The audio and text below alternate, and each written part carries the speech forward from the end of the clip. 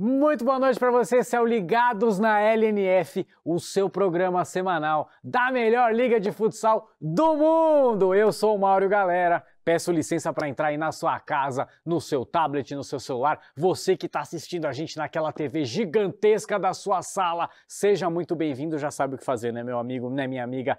Pega esse link, manda para todo mundo do seu zap, manda para a lista de transmissão, manda no grupo do trabalho, do prédio, do time do bairro, todo mundo aqui ligado com a gente para falar das quartas de final da LNF 2024. Chegou a hora, meus amigos, minhas amigas. Paulinho Japonês, muito boa noite para você mais uma semana, seja bem-vindo. Muito boa noite, meu comandante, boa noite a que todos que estão ligados com a gente. E amanhã começa mais uma fase né, sensacional da LNF 2024. Você que acompanhou as oitavas, viu que pegou fogo, imagina nas quartas então, né, Mauro? Já vamos dar um passinho para mostrar? A gente colocou Nosso o vestiário. vestiário e o vestiário tá bonitinho já de confrontos, de né? De confrontos, né? Jaraguá e a CBF, né? Jaraguá e, e passou pelo Corinthians.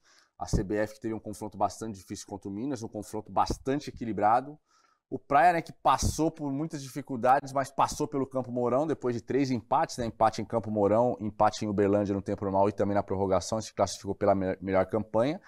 E aqui, nosso grande Santo André, né, que fez duas grandes partidas contra o Atlântico de Erechim e eliminou o atual campeão lá em Erechim. E chega grandão, chega agora grandão. chega com moral. Você ganhar do atual campeão na casa dos caras, chega grandão. Dá um crédito, né? Por favor. E aí, lembrando, né, quem está de casa, deixa eu abaixar e pegar aqui, ó.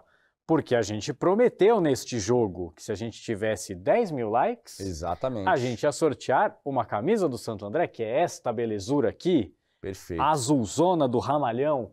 E hoje, daqui a pouquinho, a gente vai falar quem é o vencedor ou quem é a vencedora Será que essa camisa vai parar na sua casa? Será? Ó, oh, já falei, essa é. daqui combina, hein? Só para.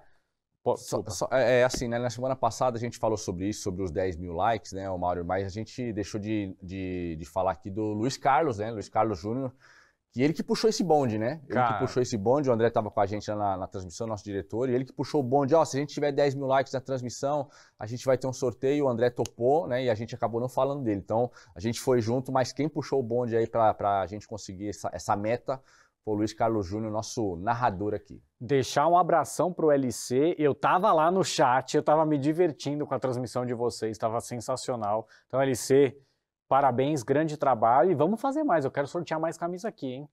Por favor. Você sabe, né? As regras para ganhar a camisa estão lá no nosso Instagram. E hoje a gente vai falar do vencedor da camisa do Santo André. E a gente vai colocar isso aqui, tá uma farra, tá? Toda semana é festa de camisa. Vamos sortear a camisa azul do São Lourenço. Muito bonita a camisa do São Lourenço, hein? São Essa, Lourenço, gosto, que, hein? Né, a gente já sabe que também está nas quartas de final equipe que é seu segundo ano né, de Liga Nacional, no passado com mais dificuldades, esse ano se classificou bem e está entre os oito, as oito melhores equipes da LNF. Muito bem, esta camisa do São Lourenço pode ser sua, vai lá no Instagram da LNF, concorra. Essa daqui, deixa eu ver que tamanho que é. Essa é a M, hein? Ah, é. Ó. A M serve, hein? Vou te falar. ó, São Lourenço, prefiro a P, mas qualquer coisa eu fico com a M, vocês mandam outra lá pro pessoal de casa. Olha que belezura. Vai lá no Instagram, semana que vem a gente conta quem levou esta camisa. Farra de camisas, Paulinho, é assim que eu gosto. É, tá? o São Lourenço, inclusive, no jogo contra o Magnus, se eu não me engano, jogou de rosa, né? Pela, pela, pelo outubro rosa, né? Em prevenção ao câncer de mama, muito legal. Ficou legal essa camisa também. Vamos fazer aquela análise que a gente prometeu das quartas de final? Alô, torcedores! Calma, hein?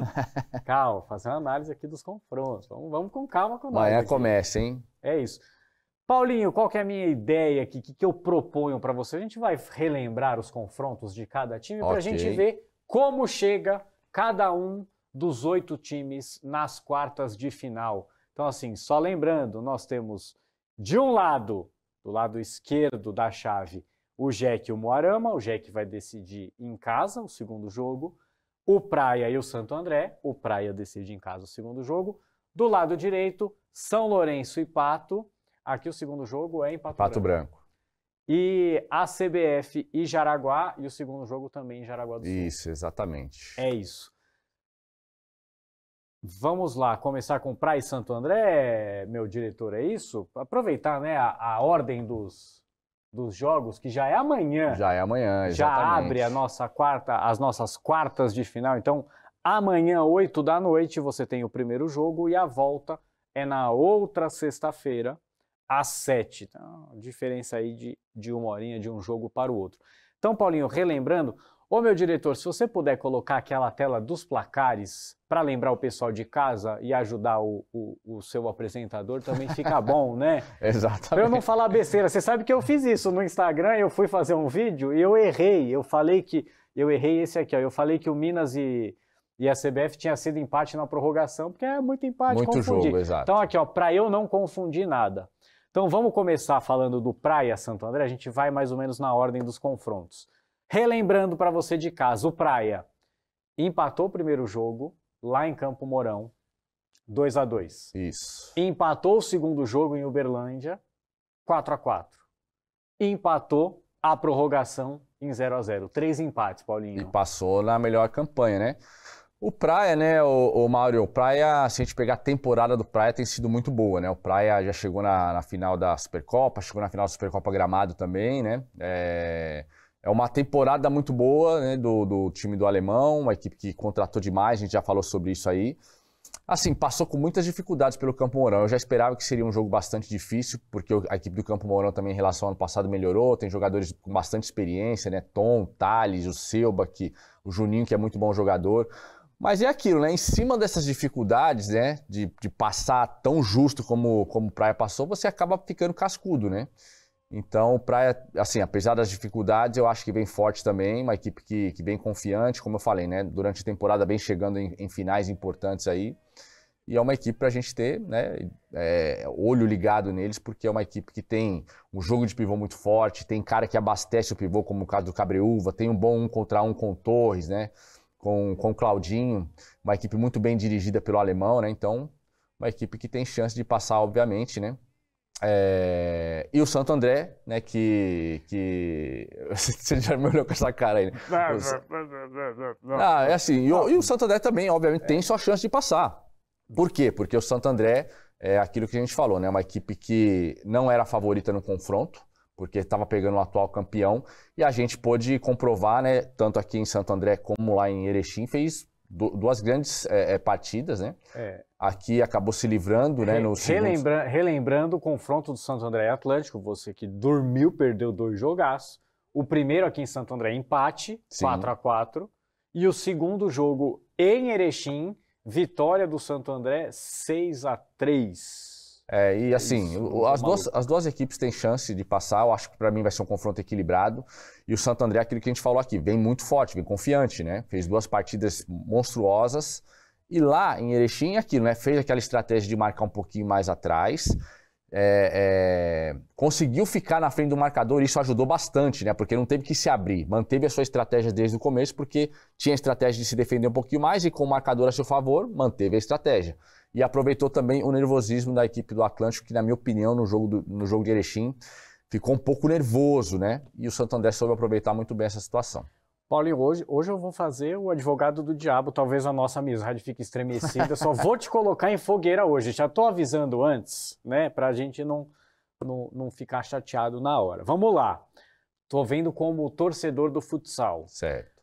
Pensando em momento, hoje, o momento do Santo André é um momento mais favorável do que o momento do Praia? Pensando no que aconteceu nas oitavas, o Praia vem de três empates, a gente esperava que o Praia rendesse um pouquinho mais pelo que ele fez na primeira fase. Sim, E aí não rendeu.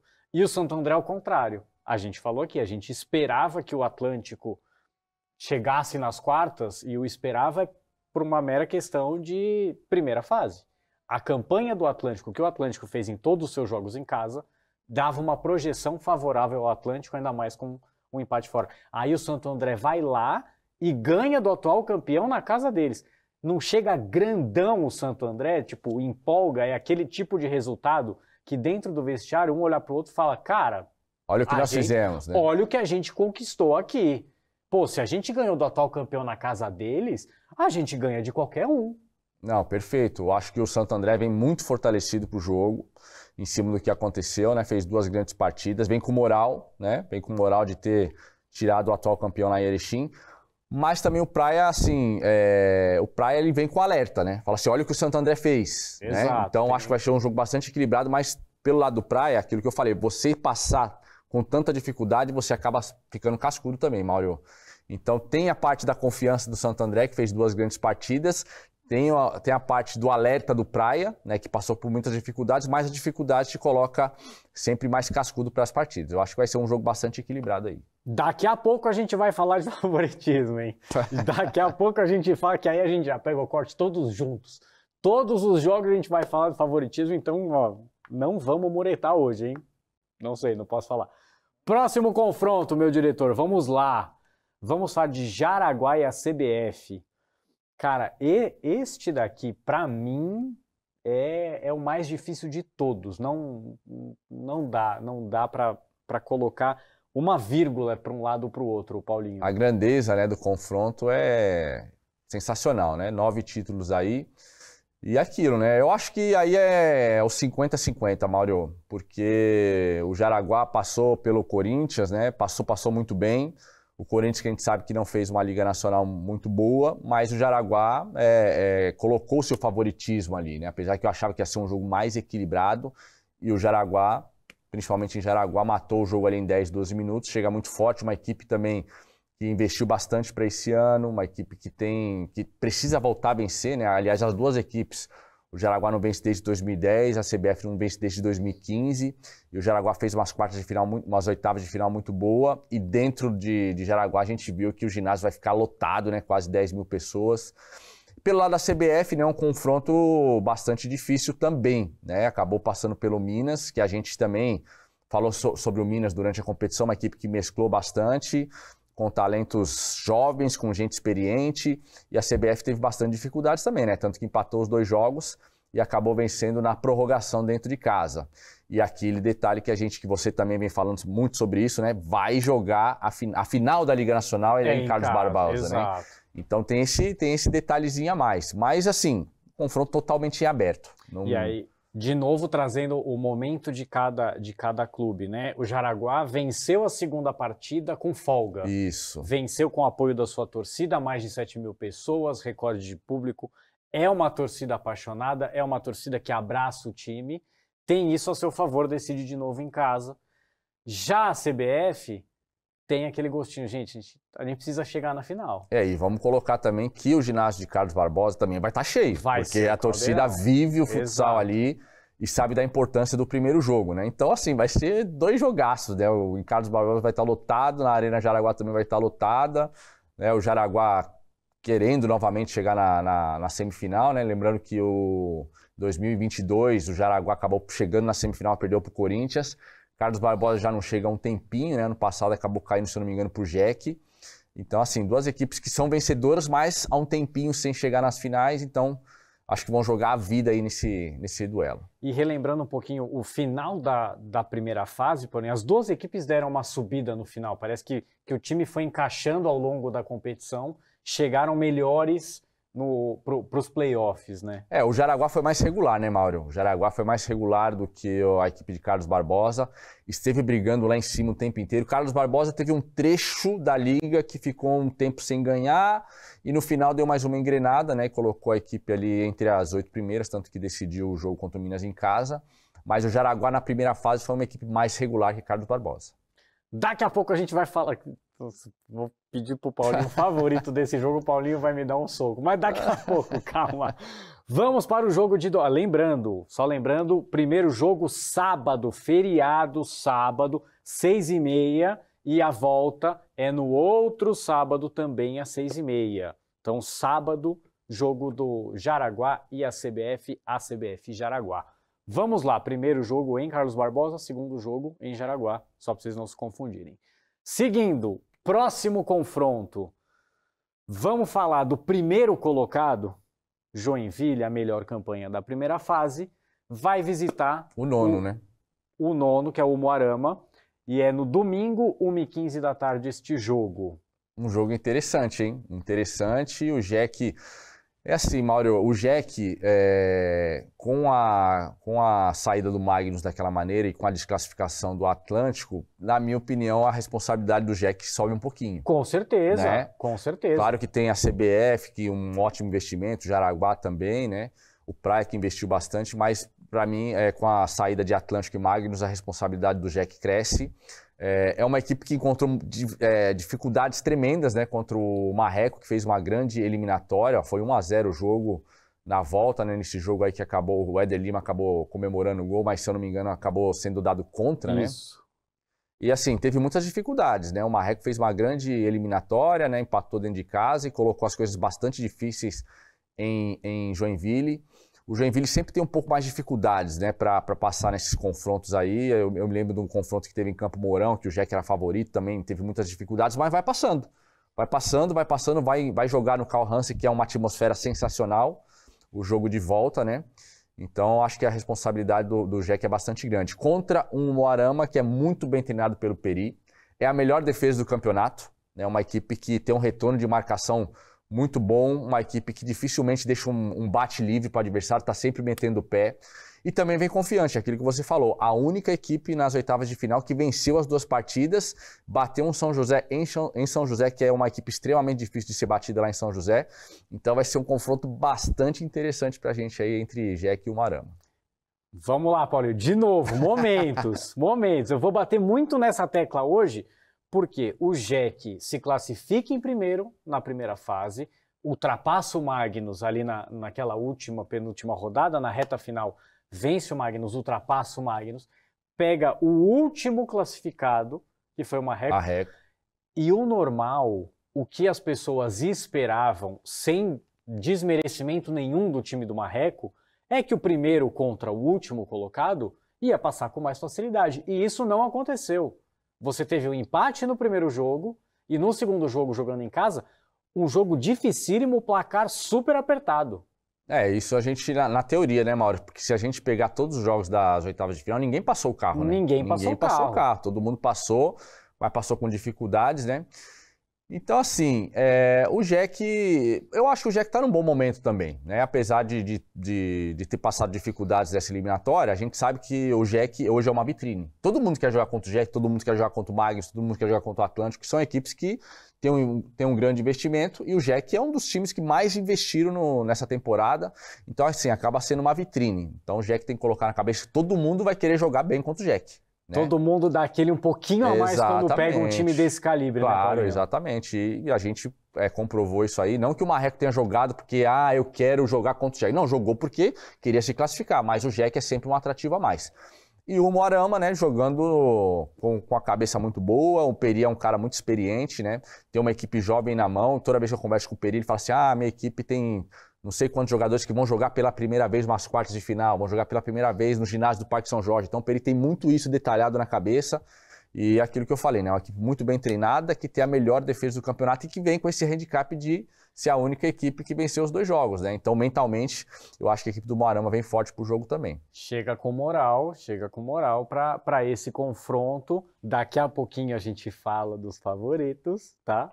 Eu vou surpreender aqui, tá? Eu vou surpreender aqui. Antes da gente passar para o próximo jogo, Paulinho, eu queria lembrar um detalhe que é muito mais a sua área do que a minha, mas é. um detalhe tático do time do Jack, que eu acho que é o grande diferencial da equipe em comparação com todas as outras. Os goleiros do Jack jogam muito bem com o pé, então eles têm praticamente, praticamente com muitas aspas, tá? Por exemplo, quando tá o Matheus jogando, é quase um goleiro linha, ele tem qualidade para fazer jogadas como um goleiro linha, sendo que é o, o, o goleiro tradicional. Não, é esse esse esse detalhe que você falou é, importante porque eu acho que ninguém tem é, os dois goleiros que o Jack tem, né? Tanto o Pato quanto o, o Matheus, né? E, e, hoje, com o Eric Pereira lá, a equipe do Jack ela ganhou um pouquinho mais de, de profundidade em relação a jogo, né? Porque o Cassiano tinha todo o esquema dele é, que jogava menos com pivô cravado, jogava mais um sistema de, de todo mundo se movimentando. E hoje o Eric, é, além de ter o goleiro, que é uma característica que ele manteve do Cassiano, tá jogando mais com os pivôs e, e contratou o Dieguinho, né? Apesar do Dieguinho vai ficar de fora porque foi expulso lá contra o Marreco, mas tem uma equipe que tem um pouquinho mais de profundidade. Então o Jack é, aumentou, na minha opinião, um pouquinho o seu leque de, de, de jogadas com a utilização mais dos pivôs e, e, os, e os goleiros é aquilo, né? O Peri com certeza vai estar treinando isso, não só na saída de pressão da equipe do Jack, né? Porque quando, quando você, é, é, o Jack é, permite, né? É, a utilização dos goleiros, eles vão aparecer. E também nas bolas paradas, né? Jogada de escanteio, jogada de falta, sempre tem uma, uma opção a mais, tanto com o Pato quanto com o Matheus, e o Peri com certeza vai estar ligado nisso. E a gente vai fazer toda essa análise na próxima semana, depois dos primeiros jogos. Pode ter certeza disso. Hum. Vamos lá, próximo confronto na tela. Pato e São Lourenço, primeiro jogo lá em São Lourenço, no dia 3, domingo, às 11 da manhã. Segundo jogo lá em Pato Branco, no dia 10, também domingo, aí no final da tarde, às 6 e meia. É, e aí, né, Mauro, aí são situações diferentes, né? Porque o São Lourenço, claro que vem feliz, vem, vem empolgado né, na possibilidade de, na sua segunda Liga Nacional, de repente estar entre os quatro melhores, mas teve aquela situação, né, de jogou um jogo a menos, né? Teve toda aquela expectativa do Magnus. Mas assim, você estar nas quartas de final é motivo de, de, de empolgação, motivo de confiança, né? É claro que a gente sempre fala aqui, no, na, na, na fase na primeira fase, o São Lourenço acabou vencendo o Pato. Só que era uma equipe diferente, né? Tinha outros jogadores, tinha o Churrasco, tinha o Biel, o Serginho era o treinador. Né? É, agora, para esse jogo aí, por exemplo, o Catata, que era um jogador que estava vindo na, na, fase final ali, é, e um jogador importante, acabou saindo. O Juninho, né, o Madruga, que assumiu há pouco tempo, né? Não sei se ele teve tanto tempo para trabalhar para tentar colocar o seu estilo de jogo. Mas né, o São Lourenço vem com o crédito de, de estar entre, o, entre, os oito melhor, entre os oito melhores da competição. E o Pato, o Pato vem também forte, né? Porque bateu nada mais, nada menos que o Cascavel. É isso, seu rival. Seu rival, né? Com muita polêmica, muitos fogos de artifício lá. É, o Cascavel, né, no, na noite ali que, que foi dormir em Pato Branco, teve todo esse problema, né, de, de, da torcida. Mas, enfim, essa rivalidade que, né, aflorou. Mas, assim, se a gente for pegar o jogo, o primeiro jogo foi de muito contato. O segundo jogo foi tranquilo. Os jogadores ajudaram a partida, né? E aí foi um jogo bastante equilibrado, onde a equipe do, do David Redson utilizou também bastante o goleiro, né? Em cima da, do que a gente falou do Jack. O Léo Souza, que é o goleiro que joga mais com o pé, foi utilizado bastante para tirar essa pressão da equipe do Pato, jogando em Pato Branco. E aí, assim, é, nos detalhes, né? Nos detalhes, acabou o Pato vencendo o jogo num chute que o, que o Johnny deu lá no segundo pau. E o Tom, que é um jogador que está iluminado, a gente até fez uma comparação do Tom com o Charuto, né? Um jogador que está fazendo muitos gols, acabou abrindo o marcador. E aí também teve a expulsão do Cascavel, que acabou prejudicando o Cascavel em certo momento do jogo ali. E aí com o goleiro linha, né? Eu até conversei com o David Redson depois, o, o, o Cascavel não conseguiu elaborar um ataque com qualidade no goleiro linha e a gente viu que esse passe do Carlão não foi um passe de tanta qualidade, acabou sobrando para o Mariano ali e a falta de seis segundos a equipe do Pato matou o jogo. Vem forte também o Pato, né, para tentar estar entre os quatro e de repente, né, conseguir seu tricampeonato. E de novo, momento. O, o São Lourenço não tem nada a ver com o que aconteceu com o time do Magnus, que foi eliminado. São Lourenço tem que aproveitar essa chance que teve Exato. e vai colocar todas as suas fichas nesse jogo de quartas de final. E o Pato, de novo, vem grandão. Pô, eliminei o meu rival, o cara direto, o cara do meu estado, o cara que para mim, a torcida, às vezes, é mais importante ganhar desse cara do que ganhar de um, um, um, postulante ao título, né, Paulinho? Ah, não, essa rivalidade acaba te dando muita força, né? Igual a gente vai falar aqui, né, quando joga um Corinthians e Palmeiras, né? Então, é mais ou menos isso aí. O Pato vem bastante forte depois de uma de um enfrentamento bastante equilibrado. E o São Lourenço, aquilo, né? Vamos embora. Vamos embora. Aconteceu. Indo, tá, é, exatamente. É não, é, mas... não, é, problema meu. Já que deixaram eu, eu, jogar aqui, eu vou jogar, vou fazer o meu melhor hum. e vou para cima. De jeito nenhum acredito que o São Lourenço vai assim: ah, não, estamos aqui, vamos ver o que vai dar. Não, não. vai entrar concentrado né, nas suas possibilidades, vai, vai passar muito pelo jogo de São Lourenço, na minha opinião, né? Cidades próximas. Mas o São Lourenço está na, tá na briga, está na briga. Vamos fazer aquilo lá, meu diretor? Vamos separar Aqueles, coloca os quatro aqui, ó. Chegou a hora, Paulinho. Acende a vela. Acende a vela aí, vamos lá, te ilumine. Alô, torcida, não é pessoal, tá? É uma análise aqui. A gente vai. Para facilitar, vamos colocar uma porcentagemzinha de leve, de leve, assim. Só tipo, ah, pode ser 50-50, 60-40. Vou ficar até mais pertinho aqui, ó. Vão, ó, atenção. Vou começar pelo lado de lá, depois eu vou vir pro lado de cá. Você que não está inscrito no nosso canal do YouTube, faça isso agora. Manda para todo mundo, não dá para perder. Olha o nível do campeonato que a gente está tendo aqui.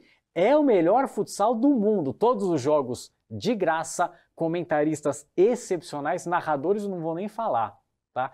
Transmissão de primeiríssima qualidade, tudo de graça para você lá no nosso canal do YouTube. Então se inscreva, tá aqui, ó. Cadê o botão do aqui, ó? Aqui, ó, inscreva-se. Vai, inscreva-se, inscreva-se aqui. Pronto. Dito isso, Paulinho, meu editor, se prepara. Vamos preparar esse corte. Ai, Vamos meu. falar de favoritismo. Vamos falar de favoritismo. Não vou falar que ninguém é óbvio, tá? Talvez eu fale. Vamos ver. Se precisar algum time me manda aqui, eu falo para dar aquela motivada extra. Joinville ou Moarama, Paulinho? 60-40 Jack. Eu vou te surpreender. Eu acho, o Jack é favorito, mas eu acho que o Moarama vai aprontar. Eu acho que o time do Perifuentes vai aprontar. Guarda, pode guardar, me cobrem, hein? Pode me cobrar, mas eu acho que vai aprontar aqui. Praia Clube e Santo André. Não, em cima do momento das duas equipes eu vou no 50-50. Eu vou de 60-40 para o Santo André. Eu acho que chega mais cascudo. Mas se precisar, Douglas, fala que é praia pro pessoal aí, pro pessoal ficar com raiva de mim e, e, mandar ver no, no, vestiário. Então fala que eu contei que é praia, mas eu acho que o Santo André é favorito aqui. Pato e São Lourenço. Aí 60 40 pro Pato também. Eu sou menos conservador. Eu acho que o Pato chega muito mais cascudo que o São Lourenço. Eu acho que aqui é um 75-25. Olha o pessoal de São Lourenço vindo me cobrar. Calma, gente. Vamos na, na boa. Esse aqui eu quero ver, por exemplo, Jaraguá e a CBF. Aí é muretagem, né? 50-50. Impossível, impossível, impossível. né? Do mesmo jeito dá. que a gente falou de alguns jogos ali das oitavas, né? Como, por exemplo, Cascavel e Pato. Esse jogo aí para mim também é 50-50, né? Dois grandes jogos, pode cair para qualquer um dos dois lados. Eu sou uma pessoa que mantém ah, as suas convicções. Eu acho que a CBF é um pouquinho, mas um pouquinho favorita pelo fato de que vai decidir em casa. E eu quero ficar amigo da torcida da CBF para me receber. Jaraguá decide em casa aí, né? Não, mas em, em casa o, o, campeonato. Ah, tá, tentar. Para a final. Eu acho que esse ingrediente de disputar a final em casa pode ser o, o, um combustível extra aí para a equipe de Carlos Não, com Barbosa. Com certeza vai ser. Então eu acho que tem um 51-49 para a CBF. só para ser cobrado. Não, acho que assim, né, em cima do que a gente viu na, nas oitavas de final, né, só o São Lourenço acabou jogando menos ali, todas as outras equipes, o Mauro, tem chance de passar, cara. Totalmente. É, a gente viu ali o, o Moarama fazendo dois grandes jogos, né? Bem com aquilo que a gente falou de, de a única equipe vencer as duas, as duas partidas, mas vai pegar o Jack, que é um, um elenco, para mim, o, o, é o melhor elenco da Liga Nacional, mesmo que tenha perdido o Fernando, né? Que é um jogador de muito destaque, mas segue sendo um elenco sensacional. Né, o Praia, que você né, é, achou que não jogou tão bem, mas é uma equipe. A gente pegar a temporada do Praia, tá fazendo uma, uma temporada muito boa. Né? Foi sensacional. E o Santo André é bem fortalecido pelo que fez, e, e, tirando o Atlântico lá.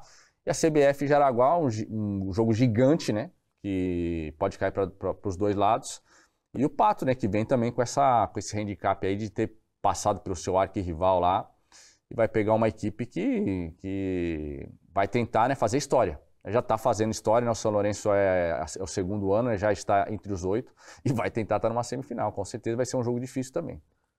Não dá para perder nenhum desses confrontos, então já bloqueia a sua agenda. Sexta-noite, sábado à noitinha ali, final da tarde, domingo é aquele esquema do almoço, já se prepara. Começa às 11 da manhã, já emenda no jogo da uma e depois almoça, pede um delivery, organiza tudo. Não dá para perder. Estamos combinados, né? Temos, diretor, a semifinal do talento? Saiu este. Ainda não saiu o confronto, Paulinho. A gente está gravando o programa um pouquinho mais cedo hoje, ainda não saiu o confronto, mas são esses quatro times que chegaram na semifinal do Talentos. E aqui, desculpa, tá? Não, não, não dá, não dá. Não importa o, o, confronto, não tem, não tem vida fácil para ninguém, né, Paulinho? Não tem vida fácil, né? Quatro grandes equipes, né? Dois gaúchos, o paulista o mineiro. A CBF acabou eliminando o Jaraguá num grande jogo. Esse jogo aí, ó, é, o Atlântico passou ontem pelo Santo André, ganhou aqui, né, em Santo André, perdeu ontem lá no tempo normal por 3 a 2 e nos pênaltis 9 a 8 para a equipe do Atlântico de Erechim. Então imagina o jogaço que foi. O Corinthians, né, que é, um, que é uma equipe que, que tem a base sempre muito forte, inclusive o Michael, né, que é um destaque da equipe do, do Corinthians no principal, desceu para jogar no adulto. O Corinthians acabou vencendo o Marreco, que tinha eliminado o Magnus, né? Então, grandes confrontos. O Minas, é, o Minas acabou é, eliminando o Jaraguá, né? Acho que ganhou, as, não, ganhou em Jaraguá e acabou empatando em, em BH.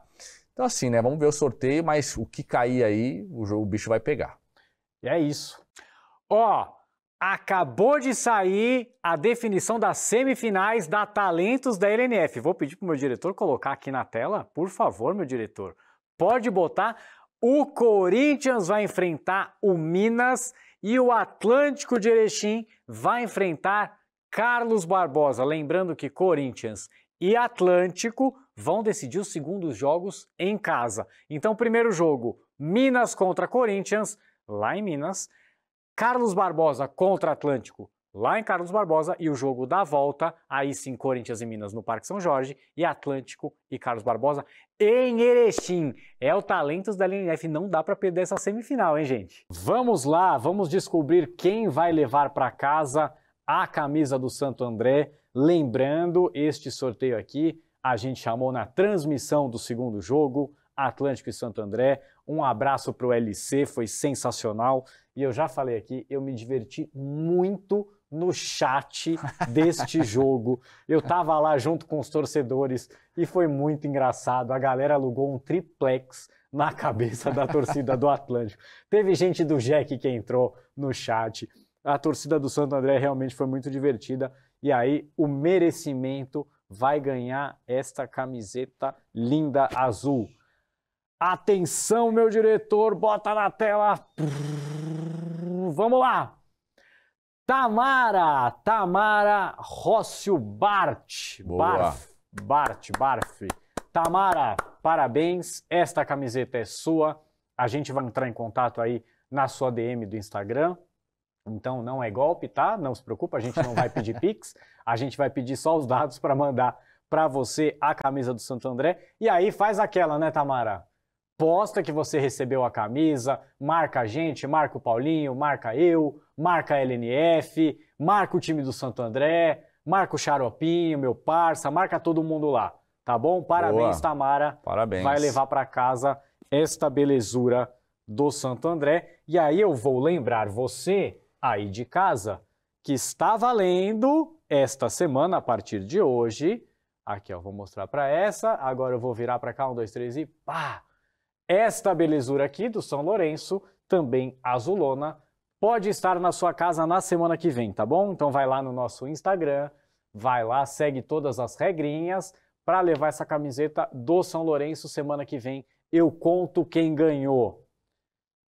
E, Paulinho, já vou deixar Oi. a provocação aqui, hein? Ah, qual é? Desses jogos das quartas, você tá em qual transmissão? Me conta. Eu estarei é, amanhã, né? Estarei pela Casé, do Santo André e Praia. E aí pela LNF eu estarei em Jaraguá e ACBF e Jeque e Umarama.